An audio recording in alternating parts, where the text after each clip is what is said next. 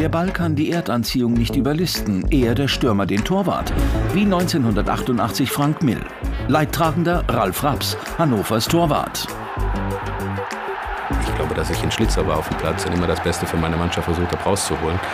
Aber ich habe es von meiner Mutter habe ich es wahrscheinlich nicht. Wenn, dann habe ich es wahrscheinlich ein bisschen mehr von meinem Vater gehabt. Diese Schlitzohrigkeit und mir hat Norbert Dickel gesagt, er ist mit allen Abwassern gewaschen. Bayern Dortmund, 9. August 1986. Erster Spieltag, unter anderem mit dem von Gladbach nach Dortmund gewechselten Stürmer Frank Mill. Es geht um diese Szene. Jean-Marie kam raus, den habe ich dann noch ausgespielt und im dritten Auge habe ich einen Bayern-Spieler kommen sehen.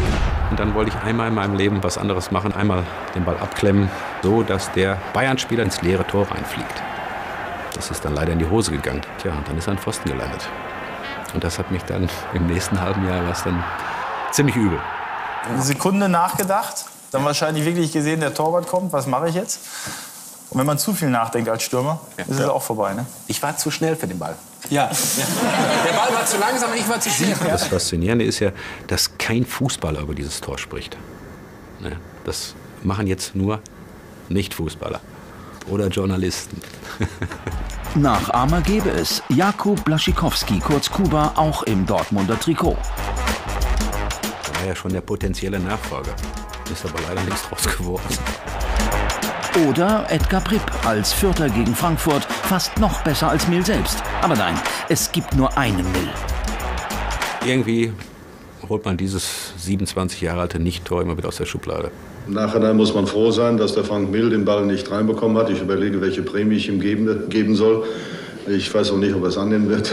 Ich weiß auch nichts von der Prämie, aber mein Gott, wenn ich Udo Lattek treffe, er soll ein Bier ausgeben, dann geht's auch. Es ist deutlich, wer das Glück an diesem Tag auf seiner Seite hat. Hier sehen Sie mich. Und die Journalisten die stürmten sofort auf mich los. War natürlich ein tausendprozentiger. Ne? Ich habe etwas zu lange gewartet und wie ich schießen will, kommt der Verteidiger.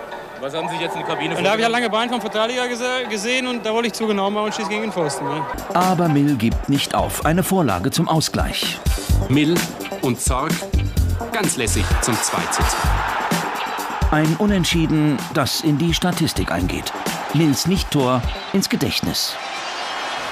Es gibt so viele Fußballer, da bleibt nichts. Bei mir bleibt wenigstens als Torjäger ein Tor, was niemals ein Tor war. Also mich stört es nicht mehr großartig. Bei 123 Bundesligatoren verständlich.